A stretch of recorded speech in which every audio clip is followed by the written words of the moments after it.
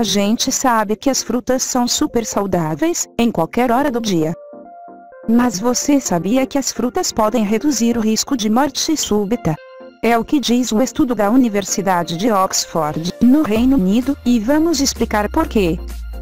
Antes de saber, se inscreva no nosso canal e ative as notificações.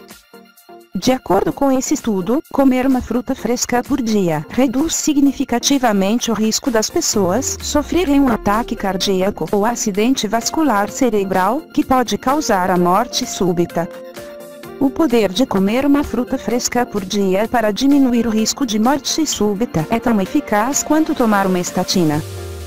Para realizar o estudo, os pesquisadores analisaram os hábitos alimentares de meio milhão de pessoas na idade adulta na China, para descobrir se o que eles comiam afetava a saúde do coração ou não.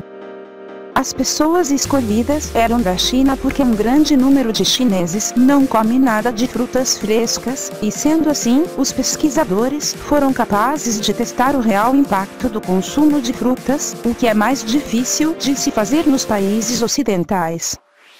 Neste estudo, eles descobriram que comer apenas uma porção de fruta diariamente, cerca de 100 gramas, reduziu o risco de um ataque cardíaco ou acidente vascular cerebral em um terço durante o estudo que durou 7 anos. O resultado foi que o consumo de 100 gramas de fruta por dia está associado à possibilidade de cerca de um terço menor de mortalidade cardiovascular, ou seja, comer frutas frescas diariamente pode prevenir doenças cardiovasculares e reduzir o risco de morte. E você, costuma comer frutas todos os dias? Deixe um comentário. Até mais.